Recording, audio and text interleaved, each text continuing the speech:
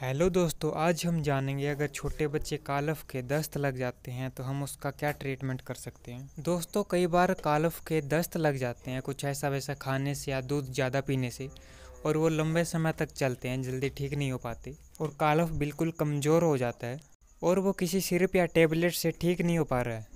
तो आपको क्या करना है? उसके लिए आपको केले का प्रयोग करना है, दो केले सुबह और दो केले शाम।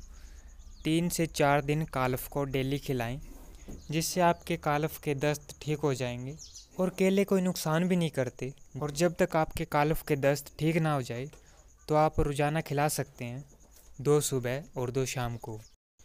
दोस्तों, अपनी डेयरी में अगर किसी कालफ के दस्त लग जाते हैं तो हम भी यही इलाज करते हैं, जिससे हंड्रेड परसेंट रिज़ल्ट मिलता है। दोस्तों, इसके अलावा आपको कोई और जानकारी चाहिए तो आप कमेंट बॉक्स में कमेंट कर सकते हैं। और ऐसी नॉलेजेबल वीडियो पाने के लिए हमारे चैनल को भी सब्सक्राइब करें और बेल का आइकन प्रेस करें।